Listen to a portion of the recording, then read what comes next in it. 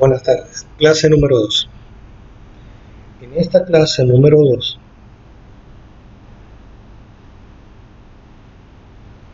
número 2 vamos a ver lo que es la distancia entre dos puntos. Entonces, imaginémonos que tenemos el plano cartesiano con su respectivo eje de las X y eje de las Y. En ese plano yo voy a representar un punto A que tiene componentes x1 como y1. Aquí tendré ubicado mi x1 y aquí tendré ubicado mi punto y1. Y tengo el punto B con componentes x2 y2. Tendríamos su representación en el eje de las X y su representación en el eje de las. Entonces, si yo veo, quiero hallar la distancia que hay entre A y B, podemos tener la distancia entre A y B. Ahora, si yo prolongo esta línea acá y prolongo esta línea acá, puedo observar que se me está formando un triángulo rectángulo. Y el triángulo rectángulo puedo aplicarle el teorema de Pitágoras, donde dice que ese teorema es aplicado a triángulos cuyos catetos forman un ángulo de 90 grados. El segmento AB al cuadrado es la hipotenusa de ese triángulo. Entonces el teorema dice que la hipotenusa al cuadrado es igual al a la suma del cuadrado de los catetos. Entonces yo tengo aquí este segmento. Este punto lo voy a representar como Esta sería la distancia AO al cuadrado más la distancia BO al cuadrado. Entonces, la distancia del punto AB al cuadrado es igual a la distancia O, es decir, esto que está acá. ¿Sí?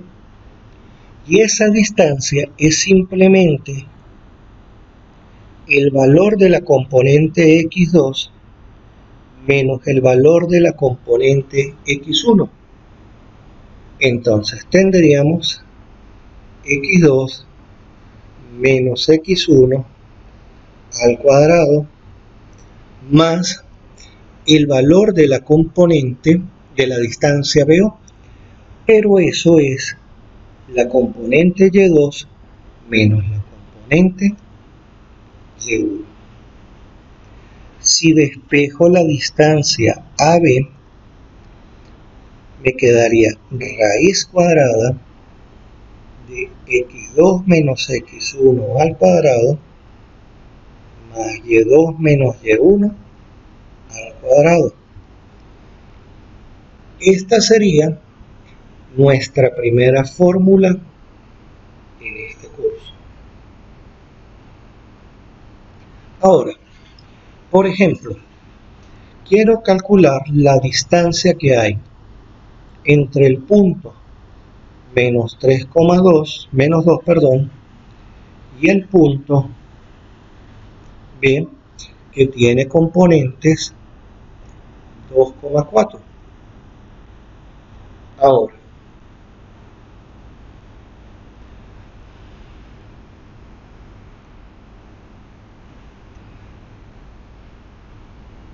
dibujamos nuestro plano cartesiano. Siempre es bueno tener una representación gráfica, entender el problema.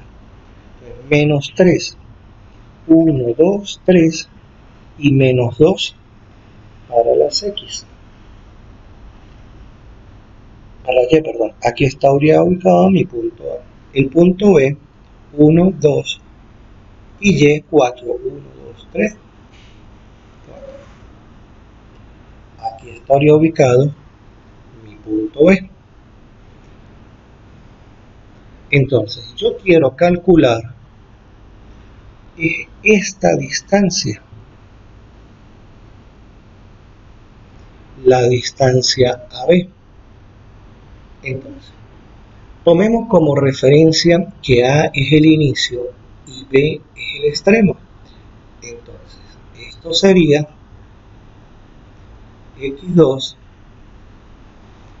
y es2 y este sería x1 y y1 entonces la distancia b vendría a ser la raíz cuadrada de x2 menos x1 sería, abro paréntesis, x2 sería 2 el menos de la fórmula menos la componente x1 que sería menos 3 al cuadrado, y2 menos y1 sería 4 menos de la fórmula menos 2 al cuadrado. La distancia vendría a ser 2 menos por menos me da más 3 al cuadrado más 4 menos por menos me da más 2 al cuadrado. 2 más 3 me quedaría 5 al cuadrado y 4 más 2 me quedaría 6 al cuadrado. Raíz cuadrada de 25 más 36, esto es igual a raíz cuadrada de 6 más 5, 11, 3 más 2, 5, 61. Como esa raíz cuadrada no es exacta, pues la dejamos expresada en forma de radical. Entonces la distancia que hay entre A y B es raíz cuadrada de 60